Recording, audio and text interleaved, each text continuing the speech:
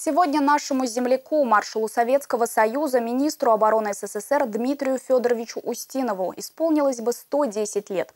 В честь этого на площади Куйбышева прошел марш Устинова, что стало своеобразной подготовкой к параду памяти 7 ноября.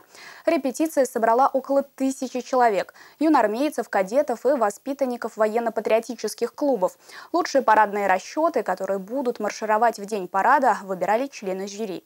Подробнее расскажет Владимир Маркин.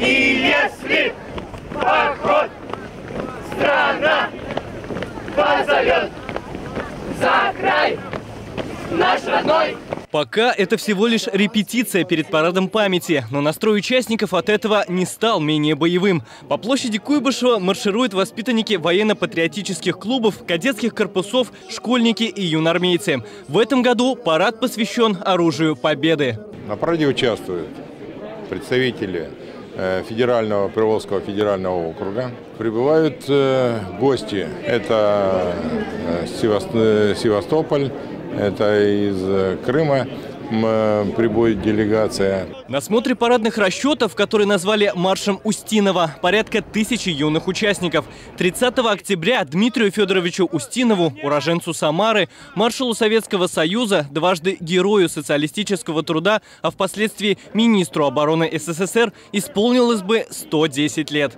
очень важно, что сегодня, стоя в этом строю, вы чувствовали глубокую сопричастность подвигом тех людей, которые стояли в этом строю в 1641 году. Еще раз хочу сказать большое спасибо вам, вашим командирам, преподавателям, которые с вами занимались весь этот период. Впервые парад памяти состоялся в Куйбышеве, столице тыла, 7 ноября 1941 года. С тех пор знаковую дату чтут из поколения в поколение. Сегодня многие впервые делают строевые шаги к историческому событию, а кто-то уже имеет немалый опыт. Ну, для меня это будет юбилейный парад, э, посвященный оружию победы.